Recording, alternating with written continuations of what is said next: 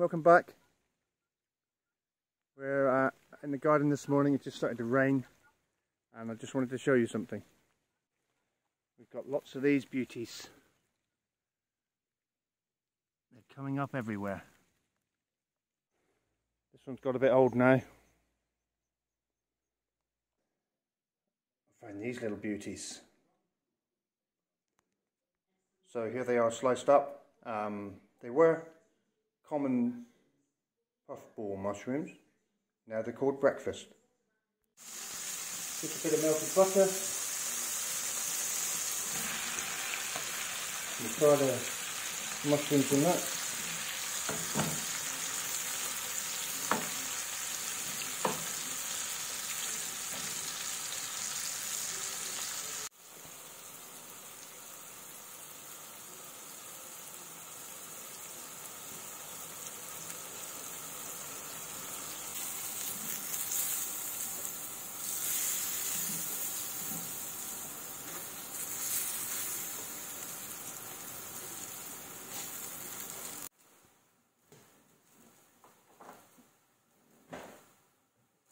Once you've them off, I add four eggs. A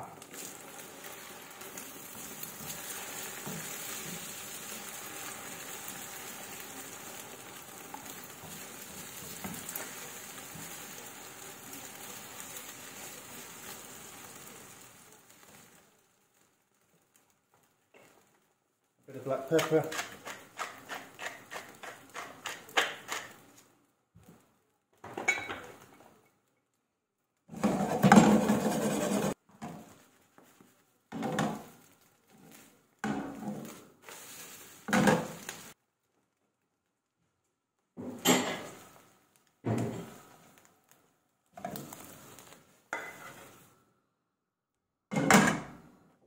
And there we have it, my breakfast. And there we go, simple breakfast for a simple man. I think you saw the damage that the rain had done to the roof of the greenhouse, so we have decided to uh, strip it out, take it all apart, uh, move it and build a blockwork greenhouse with a perspex roof and windows obviously.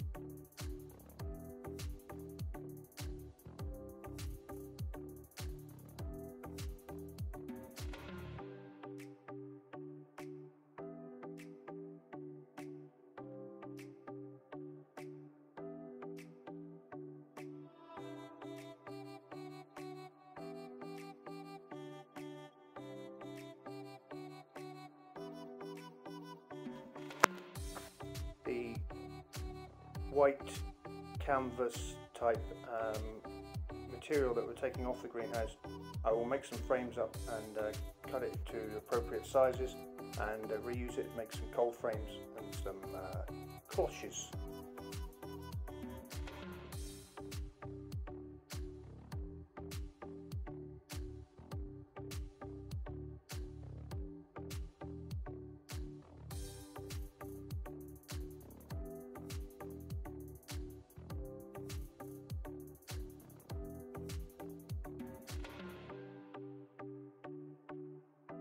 So we were going to build with the greenhouse, make a tractor shed as well, and on the back of the tractor shed we were going to have a the new chicken house. But um, as you'll see later in the video, we're moving the chicken house uh, to somewhere more shaded, which is better for them.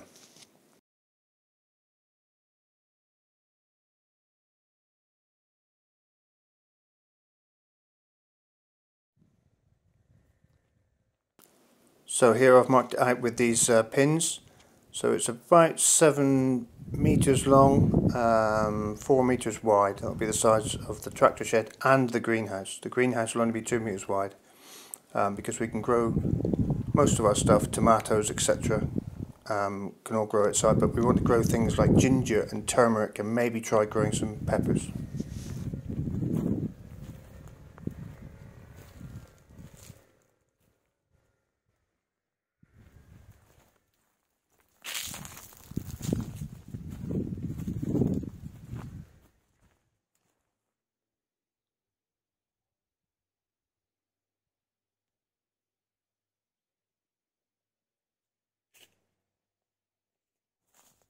So this is now where we decided to put the new chicken shed for the 13, 14 or 15, however many it was, chickens. Uh, so it's going to be 3 metres, about 10 foot by 2 metres, about 6 foot. Um, I've marked it out with four corner posts. We chose here because it's in the shade of the, uh, the four navel orange trees we have. And um, shade's really important for the chickens, especially through the summer, which we've just nearly finished now, but um, yeah, these guys provide really good shade for the chickens and they can dig around and scratch around under here.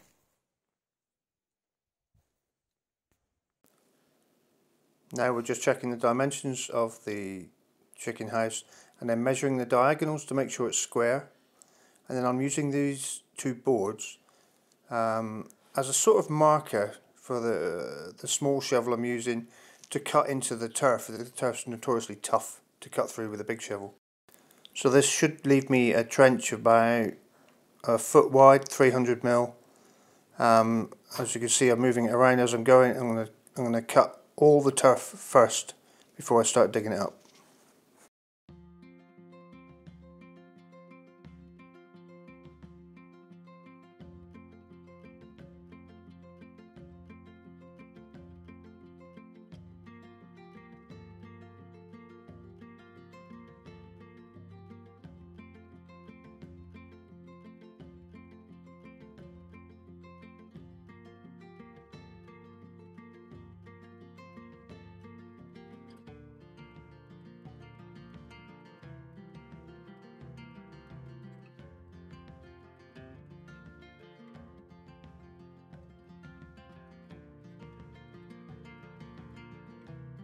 Now I'm starting to dig out all the turfs that I've cut with the smaller shovel and um, taking these away in the barrow to the next terrace down where in the future, another project, I'm going to build some raised beds. Um, we're going to put these in the bottom of the raised beds just to bulk up, um, you know, because you need a lot of soil in a raised bed.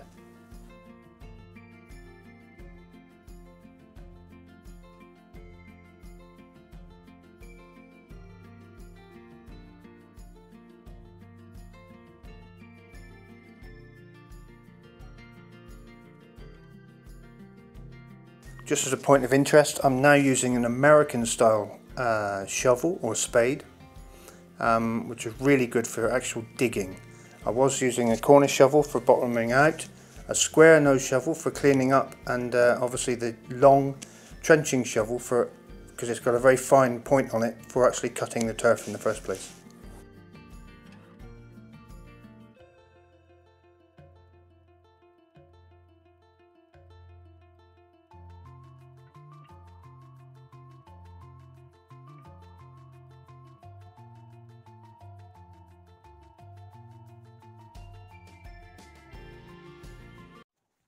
So as you can see that's the turf taken off the tops. Um, now all it needs to do is I've started in this corner. It needs to be squared off. Uh, it's about six inches deep there. Uh, more importantly from this the lowest part of the dig we have to level dig the foundation so they're level from here all the way around. So they'll be a lot deeper here. Yeah, the reason for this is it's so much easier to to, to build from the level foundations than stuff that's all over the place with steps and etc. So tomorrow we'll continue squaring this out like this and leveling it through. So as I said we started at the shallow end where you think is the lowest point and dig the trench level from there on.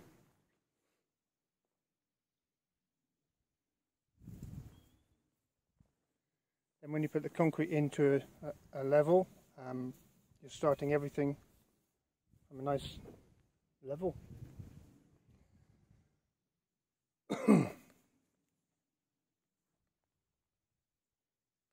because it's about 30 degrees here, I'm hot. So I'm going for a swim and I'm going to have a beer. Um, this week we're going to do some concreting of the new chicken shed and uh, I've got I've roped someone in to give us a hand.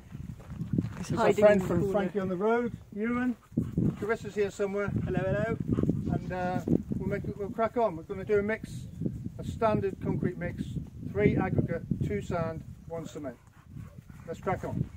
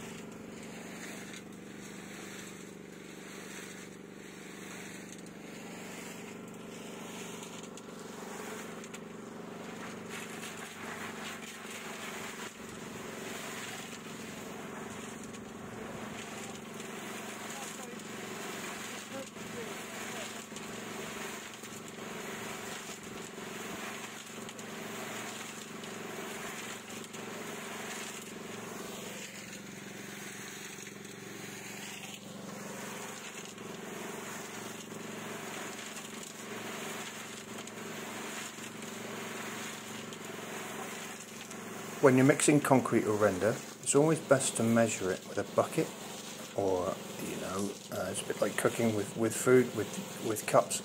Always measure the, your, your mixed quantities um, and keep it the same every time. So like if you're making render uh, or if you're making a mix to do some pointing with, every if you use the same measurements every time, it always comes out the same colour and the same strength and it's consistent. Um, I use bucket for water as well because uh, if you use a hose pipe you can always make the mistake of letting it run too long and uh, then your mix is too wet and virtually unusable.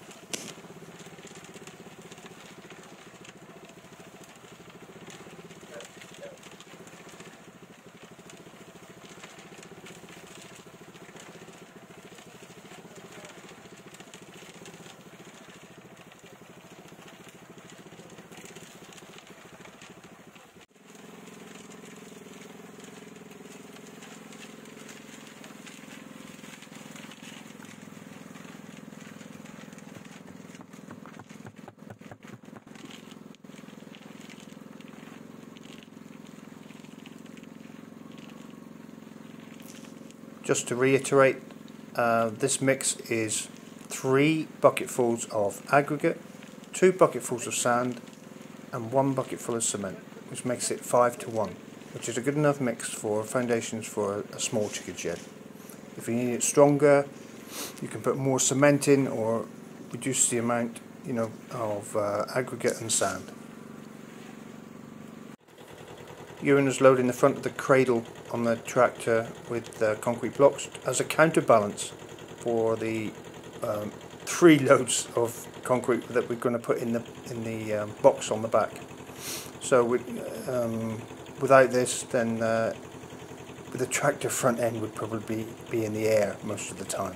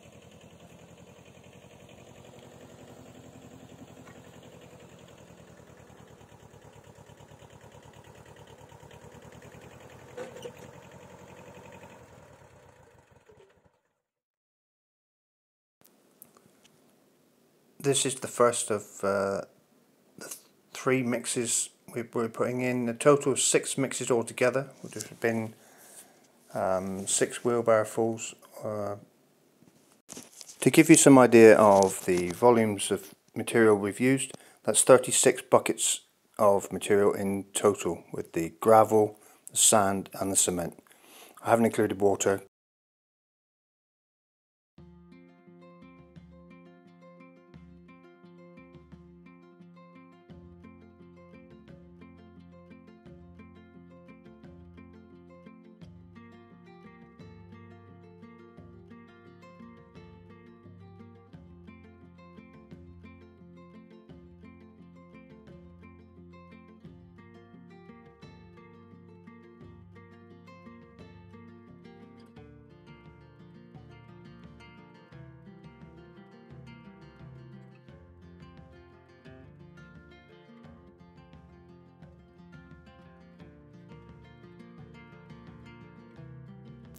Here we are back with the second load.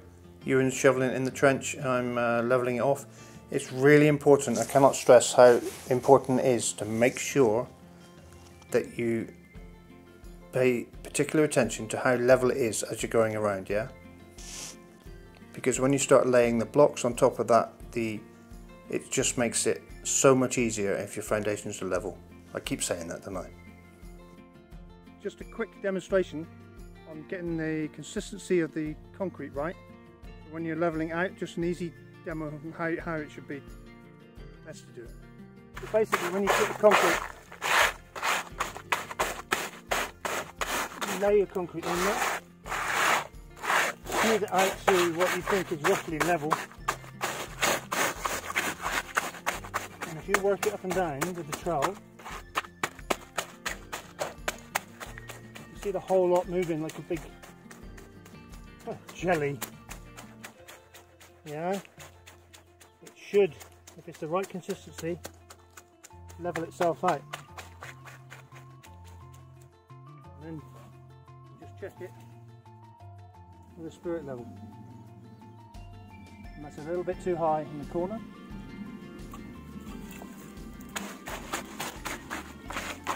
Just keep tamping it down, which gets the air bubbles out of it as well and makes it a stronger mix.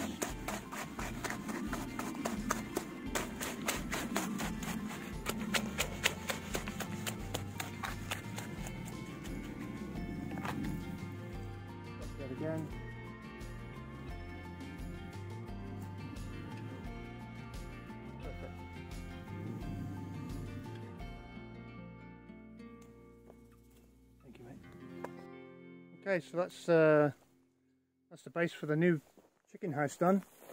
Um, I'll just show you where we finished off with the tamping. So when you've worked around with the trench, leveling it off as you go, when you meet where you started, you should be level or levelish. This is a shot of me walking down one of the many calçada streets or granite cobbled streets in Alpedrina. Um, every year, this time of year, September, they have a, a festival called Chocalhos, which is a, a festival um, celebrating the shepherds in the area. And uh, what happens is they, they come from the nearest market town of Fundão with, uh, with all their sheep and they walk over the Gardunha Mountains following the Roman road and this tradition goes back for a long long time. Uh, they follow the road uh, over to Alcongosta, then the top of the Gardunha Mountains and then they come down through the village of Alpedrina. The procession of Chocalhos um, symbolises the shepherds bringing their sheep down from the summer grazing up in the mountains down to near their homes uh, and, and winter grazing so the, the sheep are more safe and the shepherds can easily keep an eye on them instead of them roaming around the mountain tops.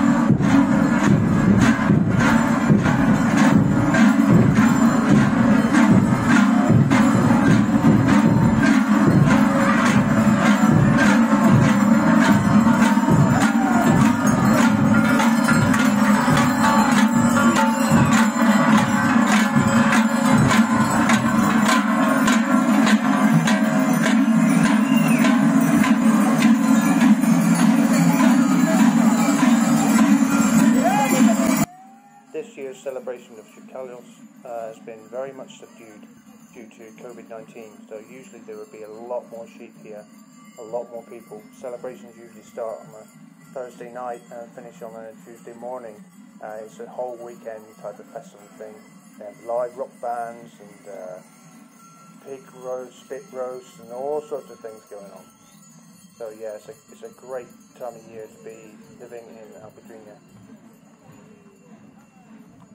And we just spotted a couple of our friends, Ian and Fiona, in the crowd. Hello! So that's all this week. Hope you enjoyed it. Don't forget, like and subscribe. Bye. Bye.